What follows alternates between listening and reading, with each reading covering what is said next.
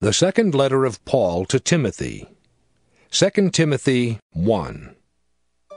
Paul, an apostle of Jesus Christ, by the will of God, according to the promise of life which is in Christ Jesus, to Timothy, my dearly beloved son, grace, mercy, and peace from God the Father and Christ Jesus our Lord. I thank God, whom I serve from my forefathers with pure conscience, that without ceasing I have remembrance of thee in my prayers night and day, greatly desiring to see thee, being mindful of thy tears, that I may be filled with joy when I call to remembrance the unfeigned faith that is in thee, which dwelt first in thy grandmother Lois and thy mother Eunice and I am persuaded that in thee also. Wherefore I put thee in remembrance that thou stir up the gift of God, which is in thee by the putting on of my hands. For God hath not given us the spirit of fear, but of power, and of love, and of a sound mind. Be not thou therefore ashamed of the testimony of our Lord, nor of me his prisoner but be thou partaker of the afflictions of the gospel according to the power of God, who hath saved us and called us with an holy calling, not according to our works, but according to his own purpose and grace, which was given us in Christ Jesus before the world began but is now made manifest by the appearing of our Saviour Jesus Christ, who hath abolished death, and hath brought life and immortality to light through the gospel, whereunto I am appointed a preacher, and an apostle, and a teacher of the Gentiles.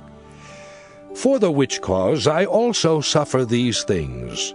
Nevertheless, I am not ashamed, for I know whom I have believed, and am persuaded that he is able to keep that which I have committed unto him against that day.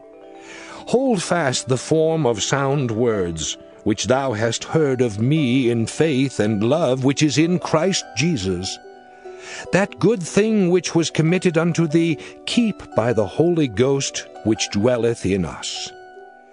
This thou knowest that all they which are in Asia be turned away from me, of whom are Phygellus and Hermogenes.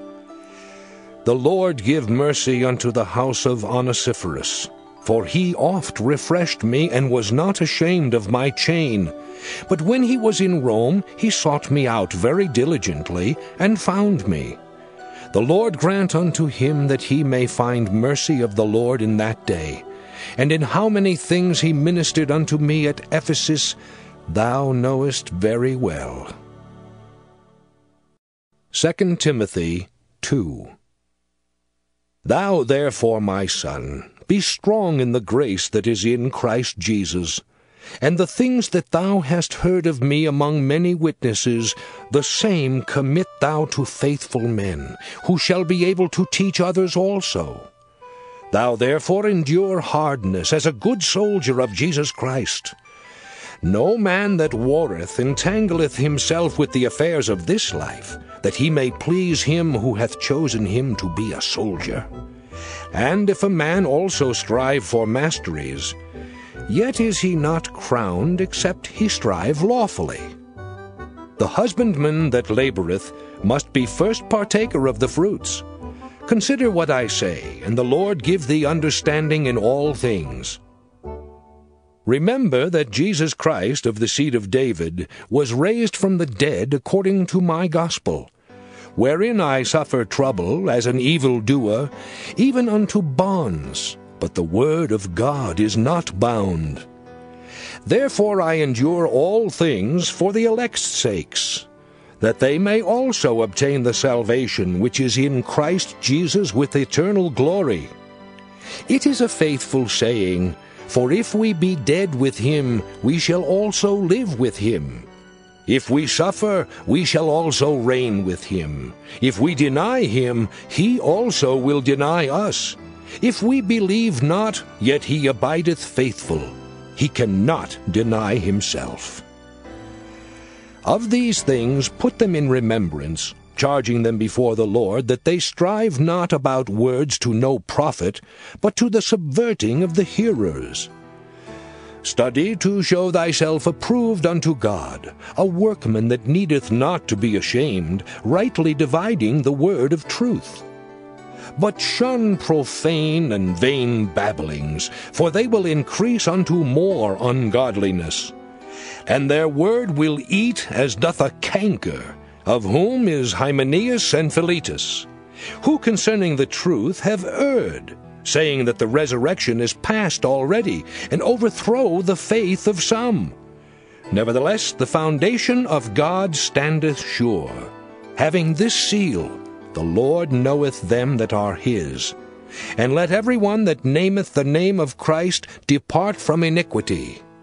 But in a great house there are not only vessels of gold and of silver, but also of wood and of earth, and some to honor and some to dishonor. If a man therefore purge himself from these, he shall be a vessel unto honor, sanctified, and meet for the master's use, and prepared unto every good work. Flee also youthful lusts, but follow righteousness, faith, charity, peace, with them that call on the Lord out of a pure heart. But foolish and unlearned questions avoid, knowing that they do gender strifes. And the servant of the Lord must not strive, but be gentle unto all men, apt to teach, patient, in meekness instructing those that oppose themselves. If God peradventure will give them repentance to the acknowledging of the truth, and that they may recover themselves out of the snare of the devil, who are taken captive by him at his will.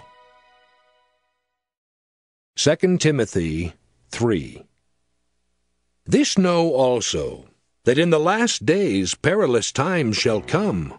For men shall be lovers of their own selves, covetous, boasters, proud, blasphemers, disobedient to parents, unthankful, unholy, without natural affection, truce breakers false accusers, incontinent, fierce, despisers of those that are good, traitors, heady, high minded, lovers of pleasures more than lovers of God, having a form of godliness, but denying the power thereof. From such turn away. For of this sort are they which creep into houses and lead captive silly women laden with sins, led away with divers lusts ever learning and never able to come to the knowledge of the truth. Now, as Jannes and Jambres withstood Moses, so do these also resist the truth. Men of corrupt minds reprobate concerning the faith. But they shall proceed no further, for their folly shall be manifest unto all men, as theirs also was. But thou hast fully known my doctrine, manner of life, purpose, faith, long suffering, charity, patience, persecutions, afflictions, which came unto me at Antioch, at Iconium, at Lystra. What persecutions I endured, but out of them all the Lord delivered me. Yea, and all that will live godly in Christ Jesus shall suffer persecution. But evil men and seducers shall wax worse and worse, deceiving and being deceived. But continue thou in the things which thou hast learned and hast been assured of, knowing of whom thou hast learned them, and that from a child thou hast known the holy Scriptures, which are able to make thee wise unto salvation through faith which is in Christ Jesus. All Scripture is given by inspiration of God and is profitable for doctrine, for reproof, for correction, for instruction in righteousness, that the man of God may be perfect, truly furnished unto all good works. 2 Timothy 4 I charge thee therefore before God and the Lord Jesus Christ, who shall judge the quick and the dead at his appearing and his kingdom, Preach the word. Be instant in season, out of season. Reprove, rebuke, exhort with all long suffering and doctrine. For the time will come when they will not endure sound doctrine, But after their own lusts shall they heap to themselves teachers having itching ears. And they shall turn away their ears from the truth, and shall be turned unto fables. But watch thou in all things, endure afflictions, do the work of an evangelist, make full proof of thy ministry. For I am now ready to be offered, and the time of my departure is at hand. I have fought a good fight, I have finished my course, I have kept the faith. Henceforth there is laid up for me a crown of righteousness, which the Lord, the righteous judge, shall give me at that day, and not to me only, but unto all them also that love his appearing. Do thy diligence to come shortly unto me. For Demas hath forsaken me, having loved this present world, and is departed unto Thessalonica. Crescens to Galatia Titus unto Dalmatia. Only Luke is with me. Take Mark and bring him with thee, for he is profitable to me for the ministry. And Tychicus have I sent to Ephesus. The cloak that I left at Troas with Carpus, when thou comest, bring with thee, and the books, but especially the parchments. Alexander the coppersmith did me much evil the Lord reward him according to his works. Of whom be thou ware also, for he hath greatly withstood our words. At my first answer no man stood with me, but all men forsook me. I pray God that it may not be laid to their charge. Notwithstanding the Lord stood with me, and strengthened me, that by me the preaching might be fully known, and that all the Gentiles might hear. And I was delivered out of the mouth of the lion. And the Lord shall deliver me from every evil work, and will preserve me unto his heavenly kingdom, to whom be glory for ever and ever. Amen.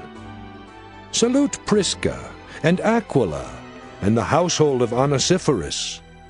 Erastus abode at Corinth, but Trophimus have I left at Miletum sick. Do thy diligence to come before winter. Eubulus greeteth thee, and Pudens, and Linus, and Claudia, and all the brethren. The Lord Jesus Christ be with thy spirit. Grace be with you. Amen.